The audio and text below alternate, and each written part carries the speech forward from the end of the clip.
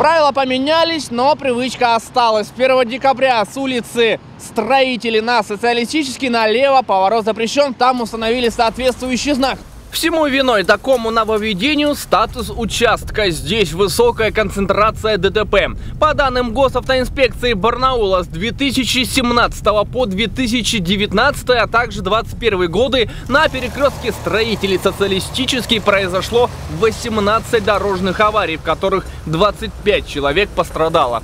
В этом году было зарегистрировано 9 дорожно-транспортных происшествий из которых 4 с пострадавшими, пострадали 5 человек. За полчаса, что мы были на перекрестке, абсолютное большинство водителей поворачивали к ЖД и автовокзалу, следовали прежним маршрутом. Но теперь налево нельзя.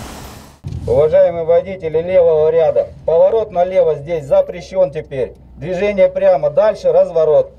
Но где же теперь разворачиваться? Нам этот момент подробно разъяснил сотрудник госавтоинспекции в прямом направлении с проспекта Социалистического.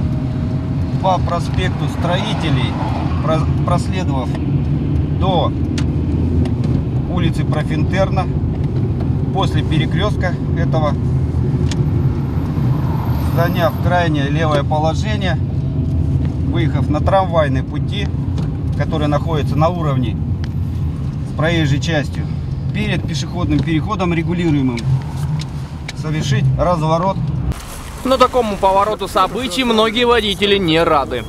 На самом деле против, э, я думаю, что неудобно. Что здесь пробка собиралась, что там будет пробка собираться, так или иначе. То есть автолюбители будут собираться и, и вот до этого поворота в любом случае стоять, поэтому разницы никакой. Решение, ну, честно говоря, непонятно. Прекрасно.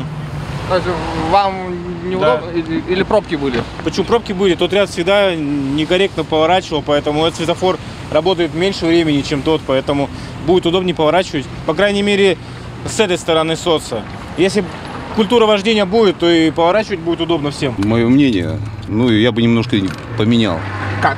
Ну, можно было стоп-полосу сделать, и все. Угу. И увеличить э, продолжительность э, зеленого света. Стоит отметить, что данное правило не распространяется на общественный транспорт, в том числе междугородние автобусы специалистами профильного комитета администрации города будет проведен анализ на предмет э, задержек транспортных средств при движении через указанное пересечение. Угу. Кроме того, э, будем смотреть задержки, в том числе трамвайного сообщения, а также на возникновение новых ДТП.